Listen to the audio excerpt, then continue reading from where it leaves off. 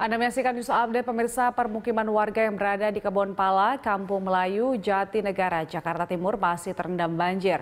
Meski mulai surut, ketinggian air telah mencapai 100 cm. Permukiman warga yang berada di RW 05 RT 011 Kebon Pala, Kampung Melayu, Jatinegara, Jakarta Timur masih terendam banjir. Ketinggian air mencapai 50 cm hingga 60 cm. Banjir ini diakibatkan oleh meluapnya kali Ciliwung yang melintas di dekat permukiman warga. Sebelumnya ketinggian air sudah mencapai 100 cm, namun warga belum mengungsi dan lebih memilih di lantai dua rumah mereka.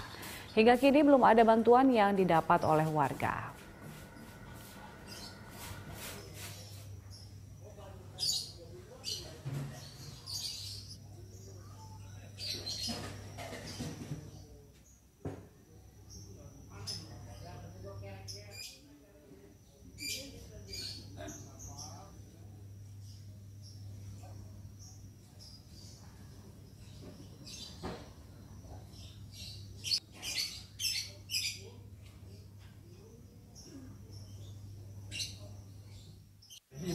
Biar nggak terjadi lagi banjir.